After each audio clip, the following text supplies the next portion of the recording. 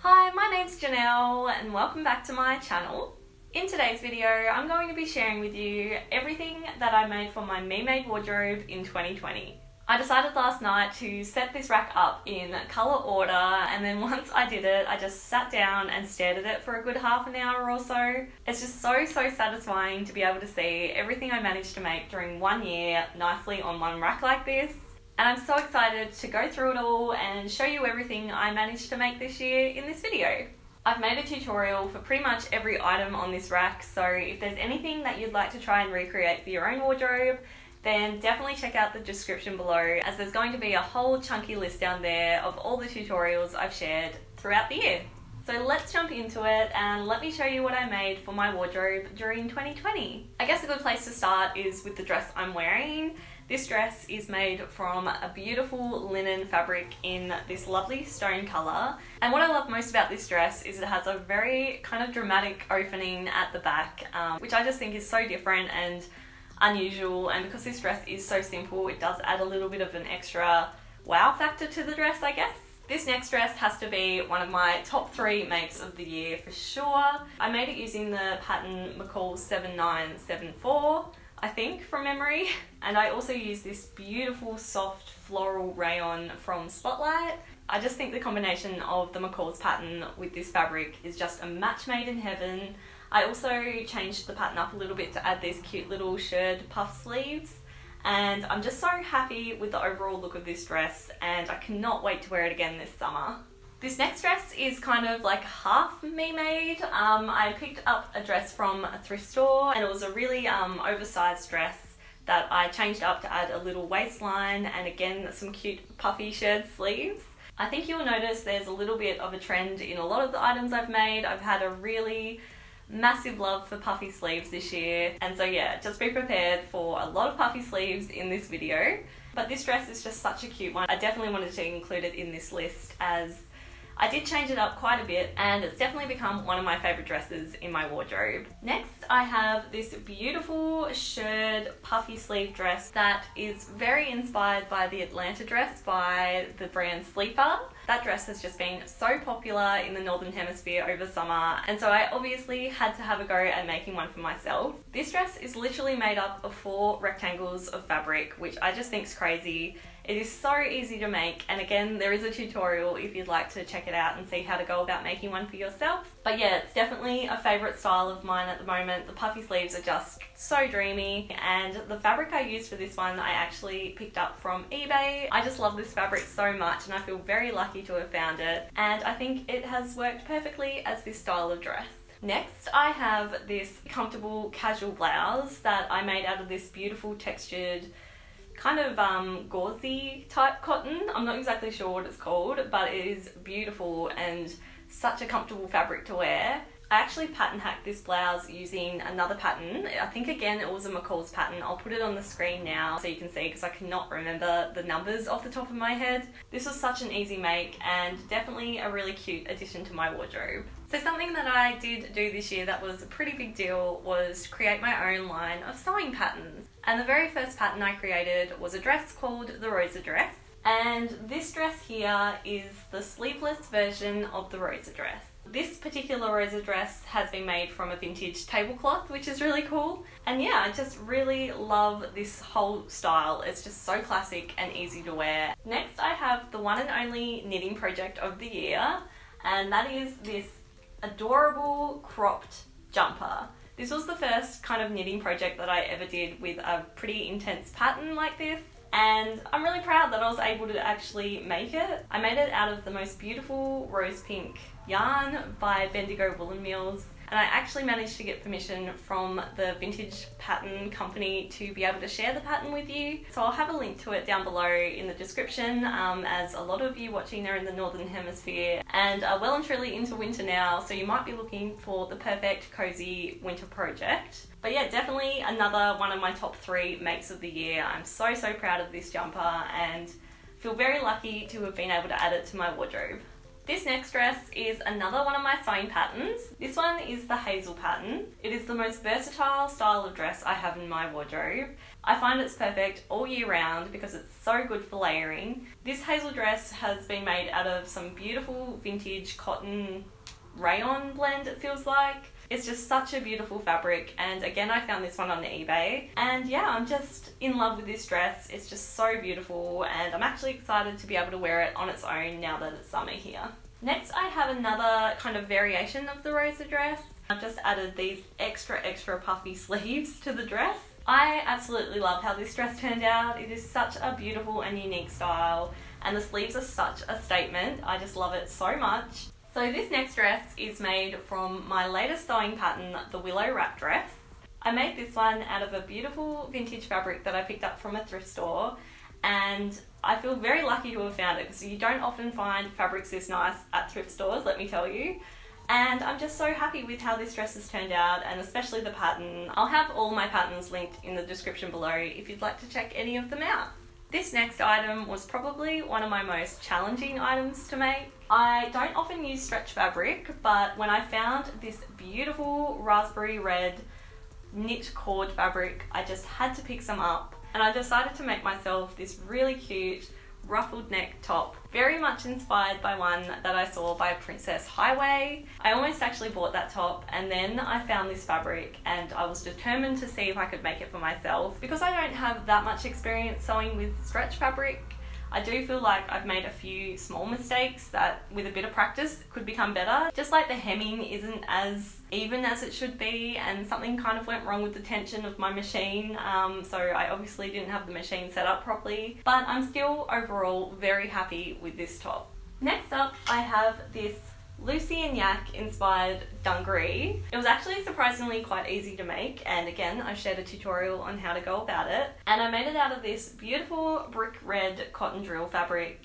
um, so it's quite a like heavier cotton but I was so happy with how this one turned out and I love all the little pockets along the front. Next I have another thrift flip item. I actually bought a dress from the op shop or thrift shop and decided to turn it into a top. Um, I wanted a really cute cropped top that I can wear with high-waisted jeans and things like that. I actually wore it yesterday with some high-waisted jeans and yeah, I was very happy with how the whole outfit looked. Next up, I have my perfect gathered skirt. So basically, I spent quite a long time trying to make a gathered skirt that I deemed the perfect gathered skirt and this is what I came up with. It has quite a lot of fabric in it because I wanted it to be a really dramatic full gather, but it also has this really cute tie with little belt loops as well for the tie to sit in. It's also a midi length, um, which is just my favorite length I think I love it so much and yeah just overall very very happy to have this one in my wardrobe Next up, I have this really adorable wrap top. The fabric of this one was kindly sent to me by A&R Fabrics. I actually pattern hacked this top from my Willow wrap dress pattern, and I shared the whole tutorial on how to go about that in last week's video if you'd like to check it out. And I'm just so, so happy with this. It's one of the cutest things I've made this year. It was definitely one of those items that turned out even better than I was hoping, so very, very happy with this top. Next, I have another Atlanta inspired dress.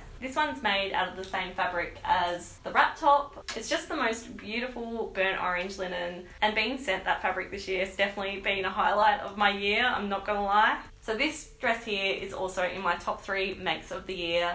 I'm just so happy with it and the fabric is just so beautiful and I know I'm going to get a lot of wear of this over the summer and for many years to come. Next I have this super adorable embroidered cotton crop top this item in particular is such a good beginner's project if you're just starting to make your own clothes. The fabric I used for mine is this beautiful embroidered cotton in the most lovely caramel colour. I just love this colour so much and I think it's made the cutest crop ever. Next I have this super amazing skirt that I actually made with a vintage pattern. I shared the whole making process of this skirt um, in a video. I actually made it to go perfectly with this blouse here and I do think that they go so well together. I just love this skirt so much. It has the cutest little side pockets a lovely little tie at the front, which I love, and these amazing kind of tortoiseshell buttons all the way down the front, which did take a little while to stitch on, but I think it was so, so worth it. Next up, I have another willow wrap dress. So this willow dress is the long sleeved short skirt version. It's kind of perfect for this time of the year here in Australia where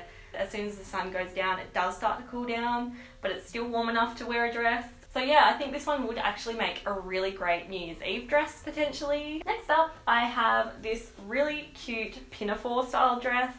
I actually used the same tutorial for the dungarees to make this dress. It's a very similar process, you just don't have to make legs, so it's even easier to be honest. I made this pinafore out of some really lovely mustard corduroy, so it's a perfect one for winter time, for layering and it's actually really lovely and warm. With this pinafore, I was actually trying to replicate one worn by Noelle and Fox on Instagram, and I actually think I managed to replicate it pretty well. And yeah, it was just a lot of fun to try and recreate clothes from Instagram this year instead of just clicking through and buying them. This next item is also a great project for beginner sewers.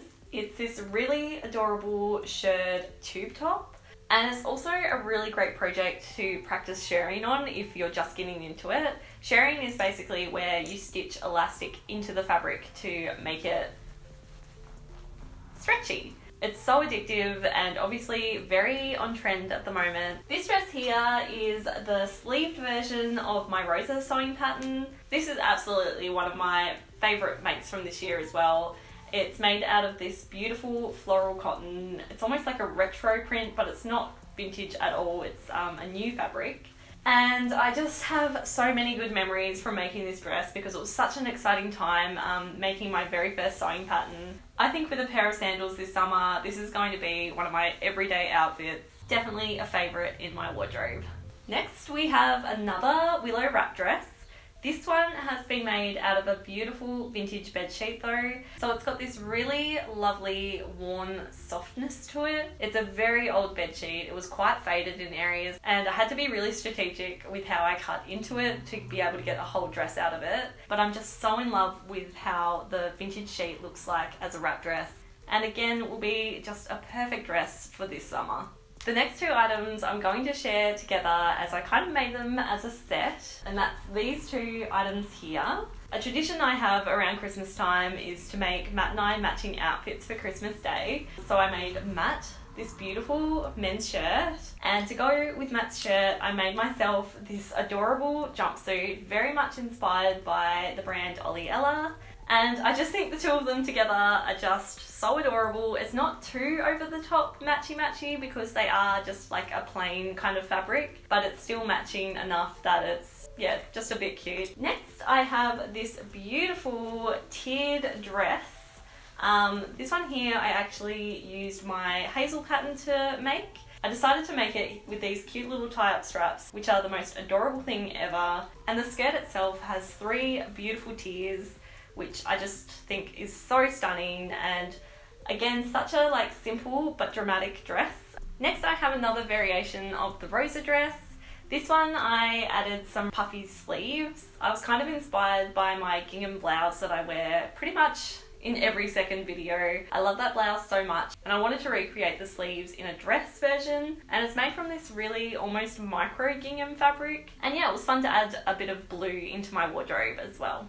Next I have this beautiful ditzy midi length dress.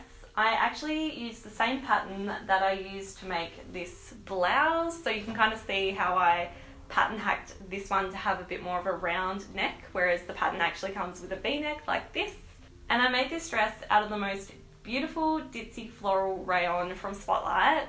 Um, this dress also has pockets, which is very exciting. Actually, most of the dresses I've shared have pockets, just for your information. I'm so happy with how it turned out, and I really do love that McCall's pattern as well. If I was to make it again, I would make it a size smaller than they recommended, because it is quite a big fit on me. But apart from that, I'm super, super happy with it. We're definitely coming to the end now. This one is another version of my hazel dress, but with this one I actually left out the waist darts to kind of create a more oversized fit. I actually made this one during my 100,000 subscriber live stream, which was just such a highlight to my year. That live stream was so much fun. It was so fun chatting with you all and let me know in the comments if you actually made it to that live stream and watched me make this dress live. This one again is made from a really cute ditzy floral printed rayon and I think it's made such a beautiful hazel dress. Again, I have loved layering this one with turtlenecks underneath and I'm also very excited to wear it on its own during summer. And the very last dress I have to share with you today is another variation of my Rosa dress. I shared how to pattern hack the Rosa dress to make this dress here. It's again got a very beautiful tiered skirt. I'm not sure if the camera is going to pick it up properly, but I also made this one with long sleeves to kind of make it a really nice autumnal or winter dress. I definitely don't have many black items in my wardrobe, so it was really nice to make this dress as it's still got the floral, which I love. But yeah, if I want to wear something that's a little bit less bright and out there, then this one's a great one to pick out and just wear and to feel comfortable in. So I hope you enjoyed seeing everything I made for my Me Made wardrobe during 2020. Like I said at the start, it's just so satisfying to see everything I made nicely on one rack like this. I could literally just stare at it all day. It's really nice to kind of be able to see what I have managed to achieve this year and I'm really really excited to see what I'll be making for my wardrobe in 2021. If you enjoyed this video then be sure to come find me on Instagram at Rosery Apparel to see some of the other things I make and subscribe to this channel if you'd like to see more videos like this one. Also thank you so much for all the support this year and for watching my videos. It really, really means a lot to me. And I hope you have a wonderful new year and I'll be back with more tutorials in 2021. Have a lovely day and thanks for watching.